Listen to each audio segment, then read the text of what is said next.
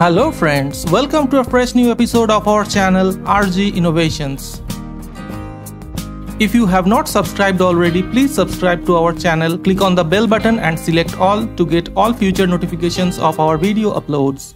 In today's project, we are going to build a repeat after me or a LED memory game with an Arduino.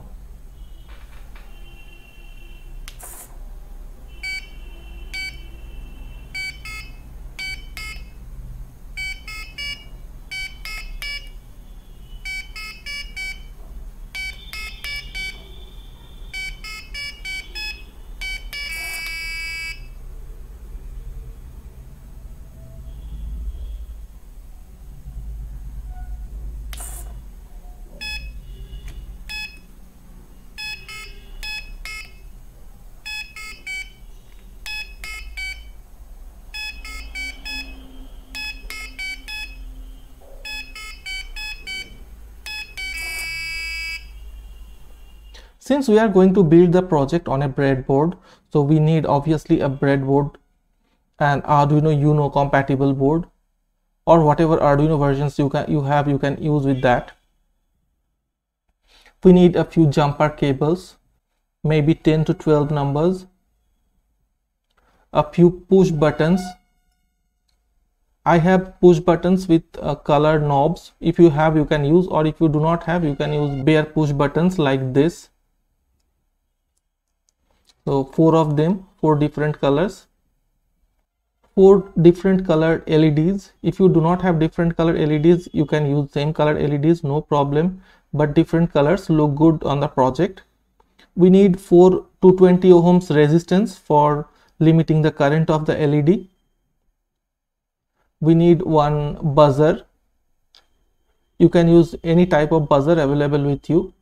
These buzzers are very cheap maybe 10 to 15 rupees uh, we have one servo motor a micro servo. And we have one flag built on a stick with a paper pasted on it. And also a few jumper cables for using on the breadboard.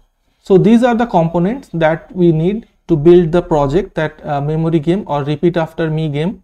Now let us start building the project. So i am keeping everything aside now I will start building the project. So first I will connect the push buttons. I have a link for the circuit diagram in the description box. You can download it from there. I do not have a yellow cap for the push button so I am using a white cap instead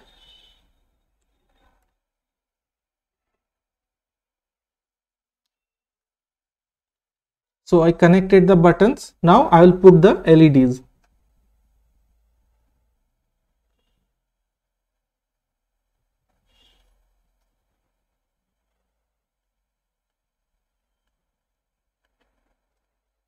So I have inserted the LEDs.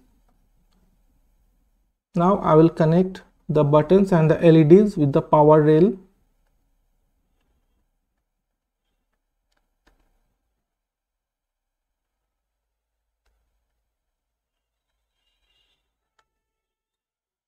Now we need to connect the current limiting resistances for the LED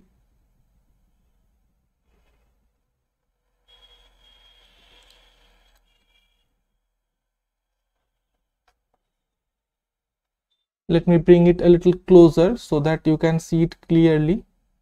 So I connected the resistances. Now here I put the buzzer. Now I will wire up everything with the Arduino Uno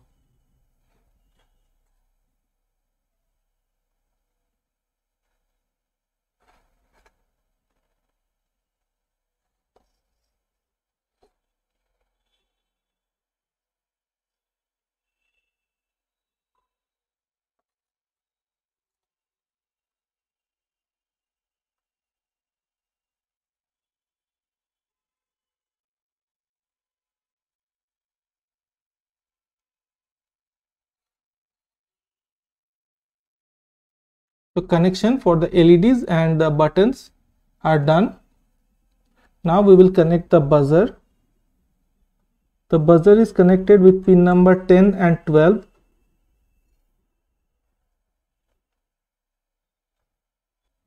so we will connect it accordingly to pin number 10 and 12 now we will connect the ground power supply to the breadboard and the remaining is the servo. So we will connect the servo wire with the Arduino. The red wire of the servo is the positive power supply. The brown wire is the ground power supply.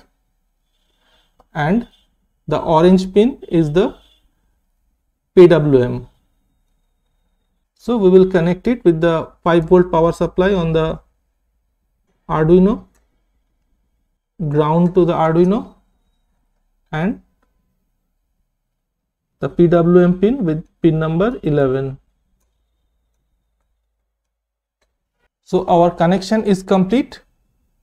Now we will fix the flag with the servo. We can fix it with glue. Here I am not fixing it with a glue, I will fix it with tape so that while disassembling I can easily remove the flag from the servo. The flag is now fixed with the servo motor. Now we have to upload the sketch to the Arduino. So I am connecting it with computer. It's connected. Now we will upload the sketch on the Arduino. So let's move on to the computer screen. This is the Arduino sketch. It's a bit long but it's well commented. So if you need to change or any modify anything you can uh, do the modification. Now i will let's see. The Arduino I'll select the board. Arduino Uno is already selected here. Then I'll select the port. It's COM10 it's also selected. So now we upload the code. It's compiling done compiling uploading and uploading is done.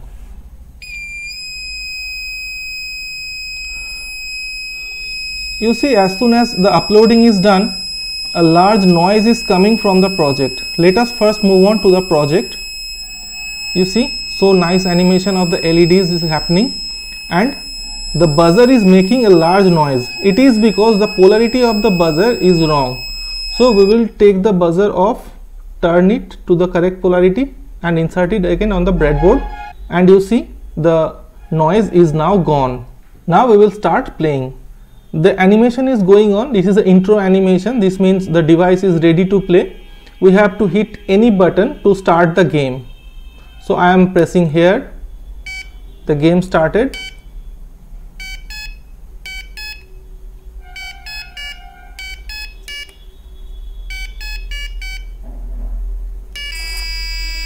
I pressed a wrong button so the flag dropped you see so nicely this looks very interesting when you are playing this so again the intro animation is going whenever I press any button the flag will rise and the game will start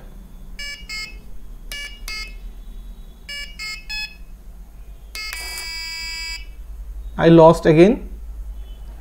This has 12 levels of difficulty. You can adjust it in the program, the steps you want to play. You can play it with your friends, you can play it with your brother or sister, you can play it with your family members. This is very interesting game. You can check how much memory power you have.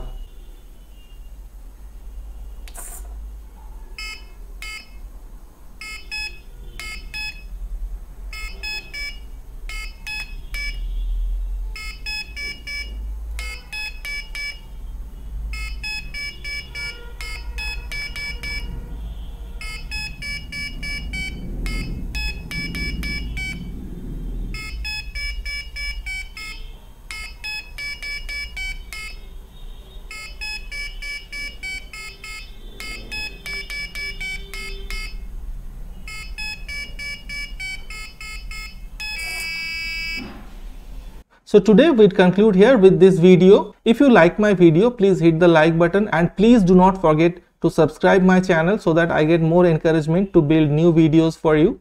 We will meet again in a new video. Till then, bye bye, take care, have a nice time and again thank you for watching.